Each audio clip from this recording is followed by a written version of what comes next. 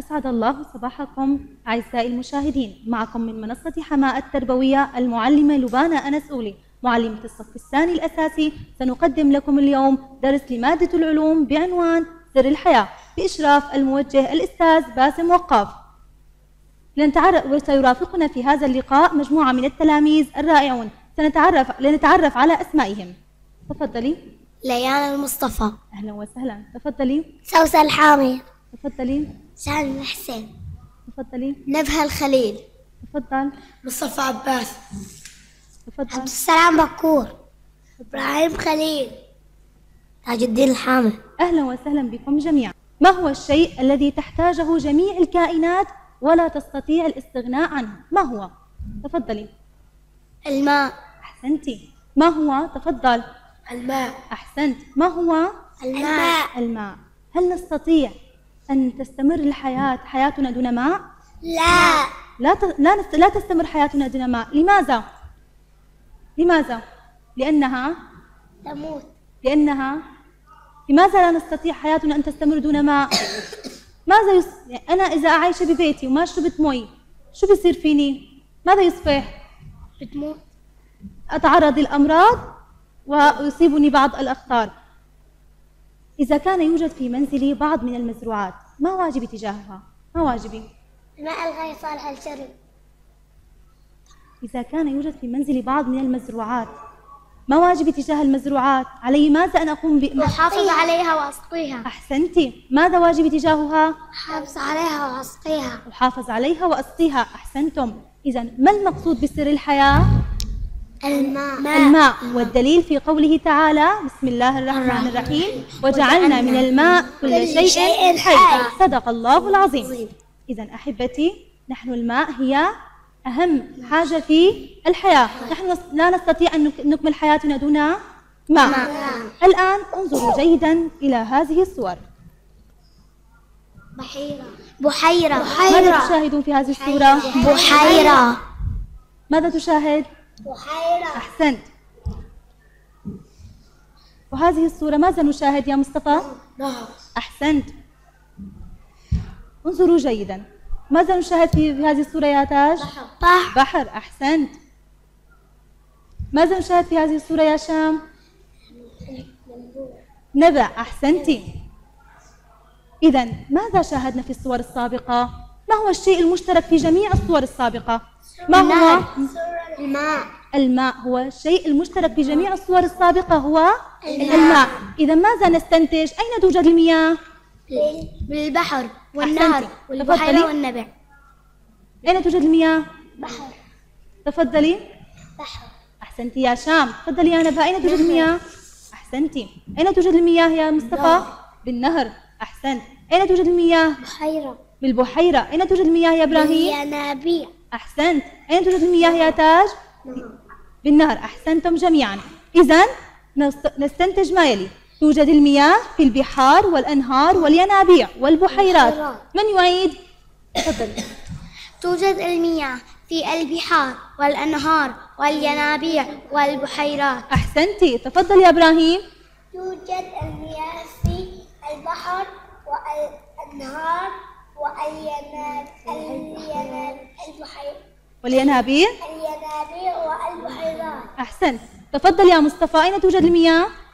في في البحار والنار والينابيع والبحيرات. أحسنتم جميعا. بعد أن تعرفنا إلى أماكن وجود المياه الآن سوف نقوم بإجراء تجربة بسيطة مع بعضنا البعض. يوجد لدينا ماء ثلاث كؤوس رمل ملح والآن سوف أوزع عليكم هذه الكؤوس.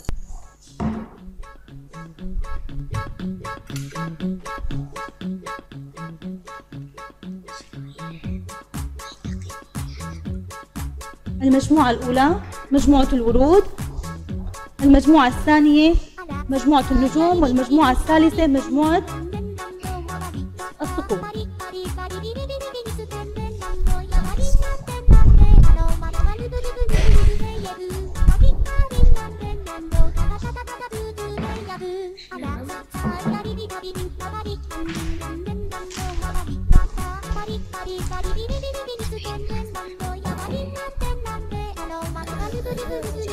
سوف نستنتج مع بعضنا البعض معلومات مهمة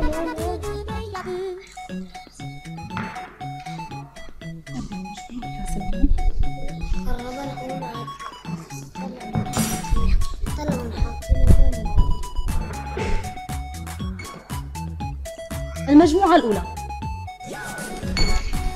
هل تستطيعين أن تشربون من الماء الذي يوجد بين يديكم؟ ما طعمه؟ اشربي منه قليلا ما طعمه؟ لا طعم له ما لونه؟ ما هذا الشكل؟ ما هذا ما هذا ما هذا الشيء الذي يوجد بين يديك؟ ملح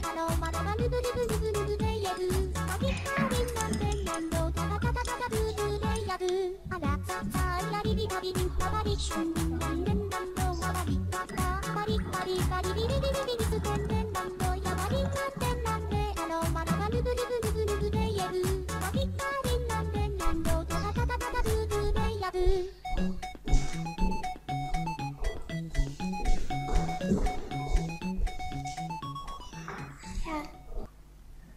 الأولى مجموعة الورود. ما هي صفات المياه الصالحة للشرب؟ ماذا استنتجتم؟ تفضلي. طعمه؟ لا لون له. سوسن لا رائحته رائحة له. شام؟ طعم له. لا طعم له. أحسنتم. المجموعة الثانية مجموعة الورود. ما صفات المياه المالحة؟ ما طعمه؟ ما له مصطفى ما لونه؟ لا لون له نبهة ما رائحته؟ لا رائحة أحسنتم مجموعة الصقور الماء العكر ما هي صفاته؟ ما, ما, ما لونه؟ عكر أحسنت يا عبد السلام إبراهيم ما, لو ما طعمه؟ له طعم أحسنتم تاج ما, لو ما رائحته؟ له رائحة أحسنتم جميعا إذن الماء الصالح من صفات المياه الصالحة للشرب ما هي صفاتها؟ تفضلي يا ليال اقرأي. لا لون له. الماء النقي لونه لا لون له. طعمه لا طعم له. رائحته؟ لا رائحة له. سوسن الماء النقي ما لونه؟ لا لون له. طعمه؟ لا طعم له. رائحته؟ لا رائحة له. أحسنتم. شام؟ الماء النقي ما لونه؟ لا لون له. طعمه؟ لا طعم له. رائحته؟ لا لا لا رائحة. أحسنتم. نبهة الماء النقي ما هي خواصه؟ لونه ما لونه؟ الماء المالح ما لونه؟ أحسنتي. مصطفى ما لونه؟ ما طعمه الماء المالح؟ طعمه مالح. أحسنتم. رائحته؟ يا نبهة ما رائحته؟ لا. أحسنتم. المجموعة الثالثة الماء العكر ما لونه؟ عكر ما طعمه يا إبراهيم؟ ما طعمه؟ له؟ له طعم. تاج ما لون ما رائحته؟ رائحة. أحسنتم جميعا. إذا نستنتج صفات المياه الصالحة للشرب. تفضل يا مصطفى ما هي صفات المياه الصالحة للشرب؟ لا لون له لا طعم له ولا رائحة له. أحسنت. تفضل يا إبراهيم ما صفات المياه الصالحة للشرب؟ ما هي؟ له طعم. لا طعم. صفات المياه الصالحة للشرب. صالحة للشرب. لا لون له لا طعم له لا رائحة. لا طعم له. أحسنتم. إذا نستنتج الآن صفات المياه. من من صفات المياه الصالحة للشرب. من يعيد نبهة؟ ما هي صفات المياه الصالحة للشرب؟ لا لون له لا طعم له لا رائحة. من يعيد؟ تفضل يا سوسان. ما صفات المياه صالح للشرب. لا لون لا رائحة لا طعم له. أحسنتي أحسنتي. إذا من صفات المياه الصالحة للشرب لا طعم له لا لا رائحة له. لا لون له. له. يلا يا تاج ما هي صفات المياه الصالحة للشرب؟ لا طعم لها لا طعم له؟ لا لون لها. أحسن لا لون له. إبراهيم عيد. لا طعم له. لا لون رائحة له لا لون له. أحسنتم جميعا. بعد أن تعرفنا على صفات المياه الصالحة للشرب الآن سوف أروي لكم حكاية قصيرة. أرجو منكم حسن الاستماع والإصغاء إلي في رحلة لكشافة الأطفال إلى نواعير نهر العاصي في محافظة هنا اقترح مجد يملأ عبواتهم بالماء هناك لكن المرشد أخبرهم أن ماء النهر عذبة لكن ولكنها غير صالحة للشرب. أحبائي بعد أن استمعنا إلى هذه القصة القصيرة. هل يمكننا أن نشرب من مياه الأنهار؟ لا. لا. لأنها نعم هي عذبة. قد تكون ملوثة وضارة للصحة أحسنتي أحسنتي. هل نستطيع أن نشرب من مياه الأنهار؟ لا. لماذا؟ لأنها عذبة. هي عذبة لكنها غير غير صالحة؟ غير صالحة للشرب. لماذا لا نستطيع أن نشرب من مياه الأنهار يا عبد السلام؟ لماذا لا نستطيع؟ لماذا لا نستطيع أن نشرب من مياه الأنهار؟ قد تكون ماذا؟ ملوثة وضارة للصحة أحسنت قد تكون ملوثة وضارة للصحة إذا نحن لا نستطيع أن نشرب مياه الأنهار نستطيع؟ لا. نستطيع أن نشربها؟ لا إذا هل يمكننا أن نشرب من مياه الأنهار؟ إبراهيم لا لا لا نستطيع إذا نتأكد من صحة الإجابة هل يمكننا أن نشرب من مياه الأنهار يا تاج؟ لا. الجواب؟ لا. لا نستطيع. أحسنتم. الآن نتأمل هذه الصورة الآتية. ماذا يفعل هذا الرجل؟ ماذا يفعل يا نبهة؟ سقاية المزروعات. يسقي المزروعات انظروا جيدا تأملوها جيدا. ماذا يفعل؟ يا سوسن ماذا يفعل؟ سقاية المزروعات. يسقي المزروعات. ماذا يفعل يا تاج؟ سقاية المزروعات. انظروا جيدا إلى هذه الصورة. ماذا تفعل؟ انظروا جيدا. ماذا تفعل؟ يا ليال ماذا تنظف؟ البيت. أحسنتي ماذا تفعل يا مصطفى؟ تنظف المنزل. أحسنت. ماذا يف... ماذا تفعل ماذا تفعل هذه الصورة؟ في هذه الصورة ماذا تفعل يا عبد السلام؟ تنظيف المنزل. بارك الله بك أحسنت. انظروا هذه الصورة الآتية تأملوا هذه الصورة. أيضا. ما هذا الشكل؟ هذه الصورة. تفضلي يا شام. أحسنتي يا نبهة. المزروعات. أحسنتي يا شام. تفضلي يا ليال. سقاية المزروعات. صفقة لي ليال. أحسنتم. إذا بعد أن شاهدنا هذه الصور هل يمكننا أن نستخدم المياه الغير الصالحة للشرب؟ هل يمكننا أن نستخدمها؟ تفضلي يا ليال نعم أحسنتي يمكننا أن نستخدمها كيف نستخدمها؟ تفضلي يا سوسن كيف نستخدمها؟ سقاية المزروعات أحسنتي تفضلي يا نبهة كيف نستخدمها أيضا؟ تنظيف المنزل أحسنتي تفضل يا إبراهيم كيف نستخدمها؟ سقاية المزروعات أحسنت كيف نستخدمها يا عبد السلام؟ تنظيف المنزل أحسنتم إذا الجواب هل يمكننا من يقرأ لي السؤال؟ تفضل يا يا إبراهيم. تفضل يا إبراهيم اقرأ لي السؤال. هل يمكننا؟ هل يمكننا أن نستخدم مياه الغير. غير صالحة للشرب؟ بعد أن شاهدنا هذه الصور هل يمكننا أن نستخدمها يا مصطفى؟ لا نعم. نعم يمكننا أن نستخدمها. نتأكد من صحة الإجابة. إذا الجواب نعم. نعم يمكننا أن نستخدمها. أحسنتم. الآن إذا نستخدم المياه الغير الصالحة للشرب من خلال الاستخدامات المنزلية التنظيف وسقاية المزروعات. من يعيد؟ تفضل يا مصطفى. استخدامات المنزلية التنظيف سقاية المزروعات. أحسنت أحسنت تفضل يا عبد السلام. الاستخدامات المنزلية التنظيف سقاية المزروعات. أحسنت تفضلي يا سوسن نستخدم مياه غير صالحة للشرب من خلال الاستخدامات المنزلية التنظيف سقايات المزروعات صفقة لسوسن أحسنتم أحسنتم جميعا. الآن سوف أقوم بتوزيع بعض الأوراق.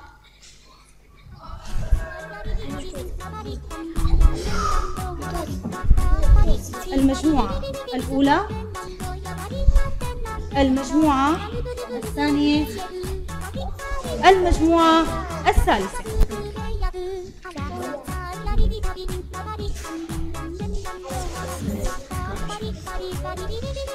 النبع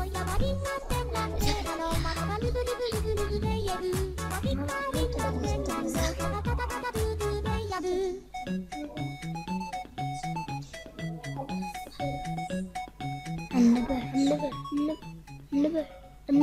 يوجد لديكم سؤال؟ يوجد لديكم سؤال؟ نعم.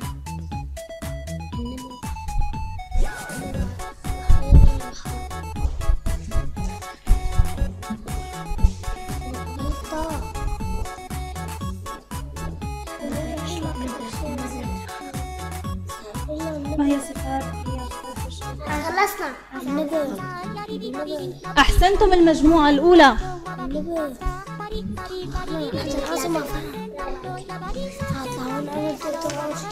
خليها خليها معي يلا المجموعة الثانية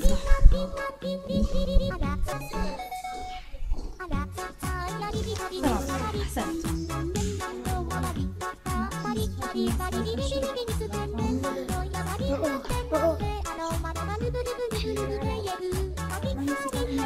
انتبه للسؤال صح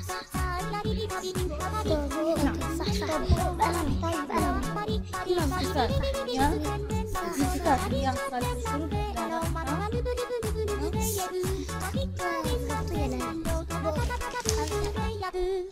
خلصنا انتهيتم جميعا؟ انتهيتم جميعا؟ تفضلي يا ليال. تفضلي. هات تفضلي اقرأي السؤال. هات السؤال الأول. اختر الإجابة الصحيحة.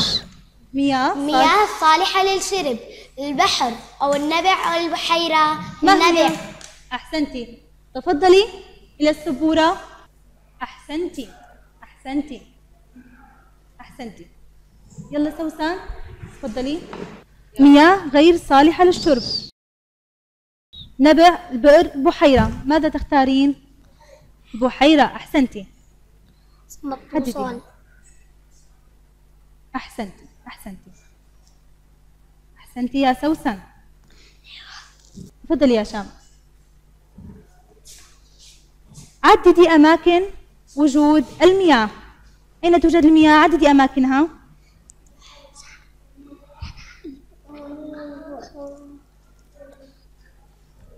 أحسنتي. اكتبي لي البحيرة. عاد اكتبي هون. نعم. البحيرة. أحسنتي. أحسنتي. اكتبي نهر اكتبي الإجابة الثانية. نهر. أحسنتي. نبع يلا اكتبي الإجابة. أحسنتي يا شام. أحسنتي يا شام. يعني آه، البحر والأنهار والبحيرة وال والبحر بحر. عدت بحر. بحر. أحسنتي أحسنتي. صفقة لي شام. أحسنتم. المجموعة الثانية مجموعة الورود. تفضلي يا تفضلي آه، تفضل يا مصطفى. إذا نتأكد من صحة الإجابة في المجموعة الأولى. مياه صالحة للشرب هي النبع. أحسن. مياه صالحة للشرب صالحة مياه غير صالحة للشرب النهر. أحسنتم. عدد أماكن وجود المياه بحار الين أحسنت أحسنت المجموعة الثانية. من صفات المياه الصالحة للشرب. يا نبهة تفضلي. لا تفضلي. قولي لي ما هي صفات المياه الصالحة للشرب؟ لا رائحة لها لا طعم لها لا لون لها. أحسنتم أحسنتم. نتأكد من صحة الإجابة. من صفات المياه الصالحة للشرب لا لون له لا طعم له لا رائحة له. السؤال الثالث ضع إشارة صح أو خطأ أمام العبارات الآتية. يمكننا أن نشرب من مياه الغير الصالحة للشرب؟ غلط. خطأ. أحسنت. تفضل. الإجابة؟ خطأ. أحسنت تفضل يا إبراهيم. يمكننا؟ يلا يا إبراهيم.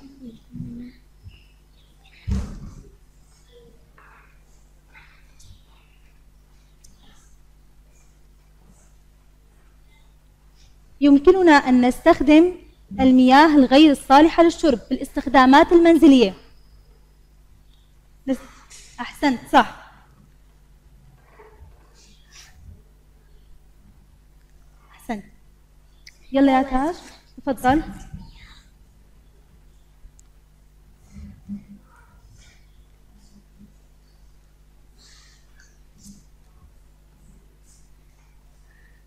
من صفات المياه الصالحة للشرب لا رائحة لها؟ أحسنت. إذا أحسنت إذا لنتأكد من صحة الإجابة. يمكننا أن نشرب من مياه البحار والأنهار يا ليال؟ يمكننا أن خطأ. نشرب؟ خطأ. لا يمكننا أن نشرب منها.